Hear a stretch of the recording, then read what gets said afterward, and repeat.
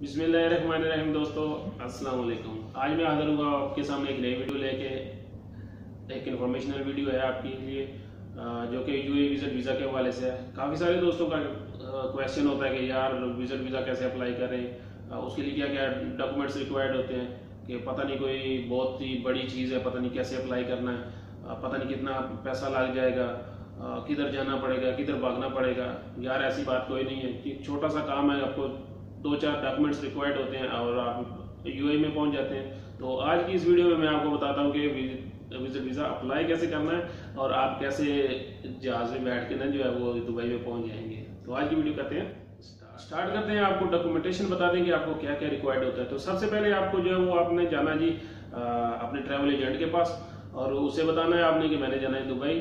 तो आपको डॉक्यूमेंट्स क्या चाहिए? बस सिंपल से डॉक्यूमेंट है। एक आपको आपके पासपोर्ट की कापी चाहिए होती है कलर कॉपी दूसरा आपको एक पासपोर्ट साइज़ की पिक्चर चाहिए होती है। तीसरा आपका पासपोर्ट जो है वो एटलीस्ट सिक्स मंथ्स जो है वो आपका वैलिड होना चाहिए एक्सपायरी से पहले। तो बस इतना सा काम है। और एक फॉर्म चाहिए विज़िट वीज़ा फॉर्म होता है वो आपका ट्रैवल एजेंट जो है वो फिल करके डिसाइड वो अप्लाई कर देता है। तो ये थोड़े से जो है ना वो आपके डॉक्यूमेंट्स हैं जो आपको चाहिए होते हैं। वीज़ा अप्लाई करने के बाद जो है वो आपको आपका ट्रैवल एजेंट जो है वो कंफर्मेशन देता है कि जी आपका विज़िट वीज़ा ओके हो गया है। अब आप मुझे बताएँ कि आपने टिकट कब की करानी है?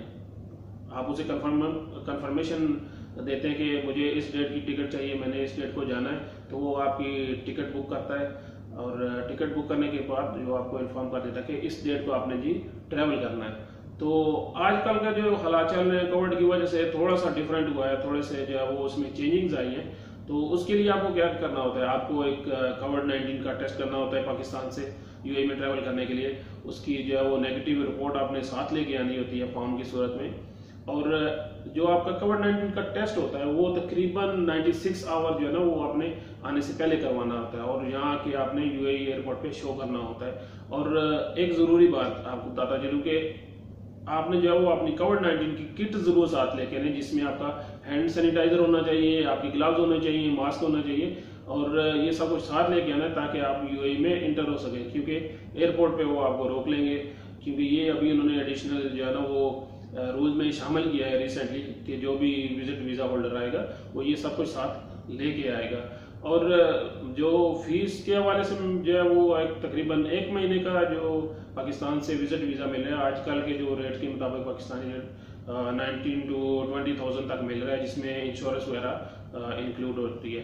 दैट्स इज़ ये सब कुछ आपको चाहिए होता है और आप आ जाएँगे दुबई में। तो उम्मीद करता हूँ कि आपको आज की वीडियो पसंद आएगी ये एक छोटी सी इन्फॉर्मेशनल वीडियो। तो मिलते हैं किसी नई वीडियो में, किसी नए टॉपिक के साथ। तब तब तब तक के लिए दीजिए इजाज़त।